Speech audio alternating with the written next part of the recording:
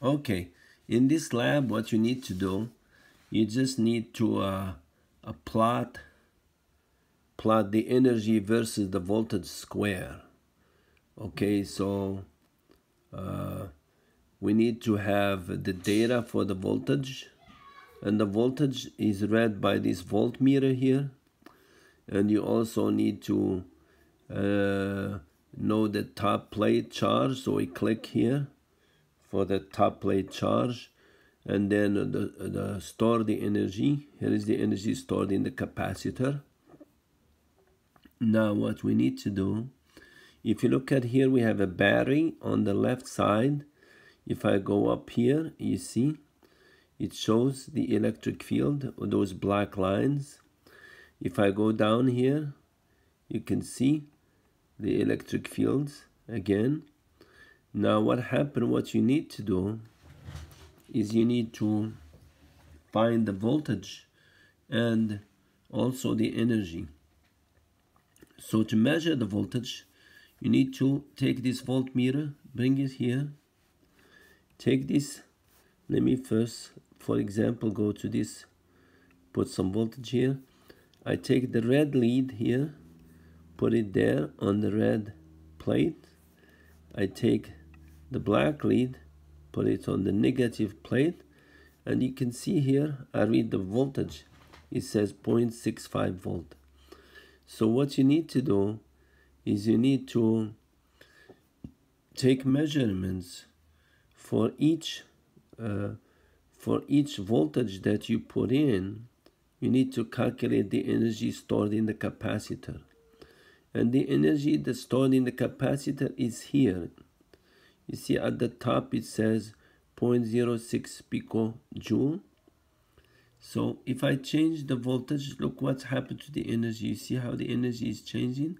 You see that yellow bar there? You see the yellow bar is increasing. So what you need to do you need to take the data. So you make a table. That table will have on one side it will have the the energy and the other side it will have the voltage square.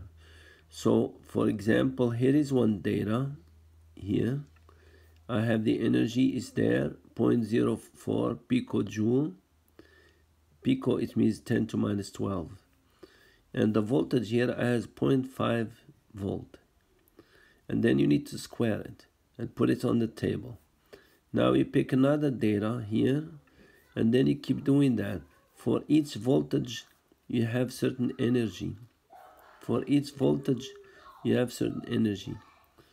And then after you make this data make sure you take like maybe 30 or 40 data points. Then you plot you plot energy versus v square.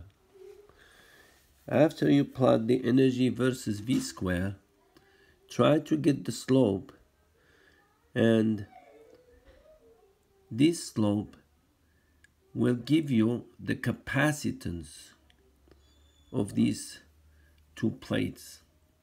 And you need to find that capacitance and then compare it with the one that you have here. You see it says there 0.3 picofarad now after you do this v this energy voltage versus the voltage square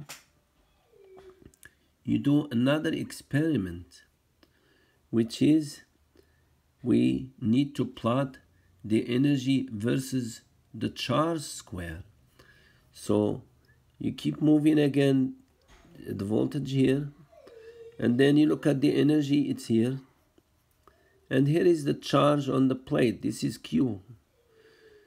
And now what you need to do is plot the energy the energy which is here versus Q, the charge squared.